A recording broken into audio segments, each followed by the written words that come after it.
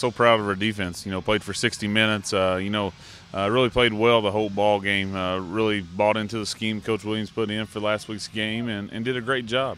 You know, uh, the first touchdown of the game, we give up a big play on a, on a third and long situation, and that really had them right where we wanted them in, in a down, passing down a distance that gave up that seven points there in, in, in ending that drive. But uh, you know, the guys did a great job last week we, we hit the injury bug early in the season, and uh, you know some of the other teams are doing the same thing now. Uh, but you know it's a matter of who can get their you know the next guy up mentality, be ready to go. And you know we feel like our guys have really got some experience, valuable experience. You know we took some losses during that time period when we had some guys out, and uh, you know and our guys are starting to get healed up, playing fast, and you know and being healthy, and that means a lot to us. Uh, but we got to continue to focus on ourselves. You know making the fundamental plays, taking care of the football, wrapping up and making tackles, and being in position to make plays.